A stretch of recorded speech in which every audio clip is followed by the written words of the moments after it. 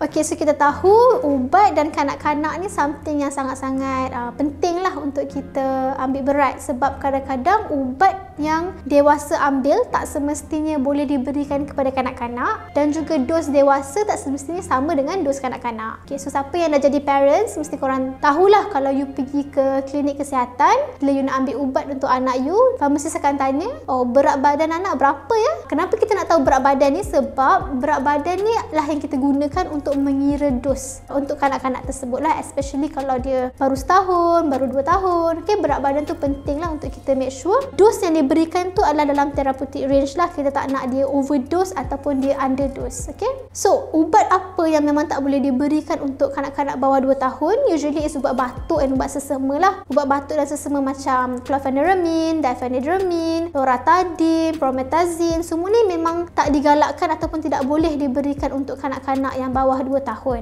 okay unless memang doktor pakar pediatrik dia dah apa tengoklah uh, benefit versus risk untuk patient tersebut tersebut sama ada dia ada keperluan ataupun, ataupun tidaklah untuk ambil ubat batuk dan sesama ni. So kalau ubat batuk dan sesama tak boleh bagi untuk kanak-kanak yang bawah 2 tahun, kita nak bagi apa? Usually kalau yang bawah 2 tahun ni kita akan bagi normal saline sahajalah yang dititiskan dalam hidung ataupun kita guna device untuk suck uh, sesama yang ada pada kanak-kanak tersebut. So please be careful lah make sure you jangan bagi anak you yang umur 6 bulan tu ubat batuk tiba-tiba okay, sangat bahaya sebab ubat batuk dan sesama ni kalau kita bagi bawah 2 tahun dia boleh menyebabkan sawan boleh menyebabkan kegagalan sistem pernafasan lah dan juga boleh membawa kepada kematian. So make sure apa sahaja ubat yang you nak bagi telah mendapat kebenaran daripada doktor ataupun farmasis. Okay, selain daripada tu, macam ubat yang mengandungi camphor ataupun kapur barus lah. Camphor ni macam Vicks ke, okay, minyak kapak pun sebenarnya tak boleh disapu kepada kanak-kanak bawah 2 tahun. Contohnya macam Vicks lah. Memang tak boleh sapu kat hidung ke, kat badan ke. Kita ada Vicks yang untuk kanak-kanak tapi please double check sama ada dia bersesuaian untuk umur yang berapa. Sebab tak semestinya uh, disesuai untuk bawah 2 tahun kita takut tak sesuai. So please double check. So macam Vicks, minyak kapak, Tiger Balm, Salonpas, Yoko Yoko semua tu tolong jangan berikan kepada kanak-kanak yang bawah 2 tahun. Yalah sebab kita tak nak dia ada tendensi untuk dapat sawan. Okay, kita ada certain ubat yang lain lah juga macam ubat mata, kita ada ubat cacing. Uh, usually semua ubat ni pun tak boleh diberikan untuk kanak-kanak yang less than 2 years old. Macam ubat sirap paracetamol ataupun sirap antibiotik. Uh, semua tu dia adalah berdasarkan kepada berat badan lah and usually pharmacist kita tahulah macam mana kita nak calculate dan kadang-kadang bila kita tengok oh dos ni macam agak tinggi lah so kita akan call balik doktor dan advice lah untuk berikan dos yang betul pada kanak-kanak tersebut sebab kita tak nak kadang-kadang bila dos tu dah melebihi daripada the range yang sepatutnya dia akan takutlah overdose dan kalau dia underdose pula nanti dia tak dapat sembuh lah daripada penyakit sebab ubat tu berada di bawah underdose macam tu. So please make sure uh, ubat yang you nak bagi kepada anak-anak you tu adalah selamat lah okay make sure you tanya dengan doktor atau farmasi sama ada dia bersesuaian ataupun tidak. Dan please make sure dos yang diberikan tu pun adalah dos yang betul. Sebab kadang-kadang dos untuk budak umur 2 tahun dan 5 tahun tu dia berbeza lah sebab dah ada peningkatan berat badan dan sebagainya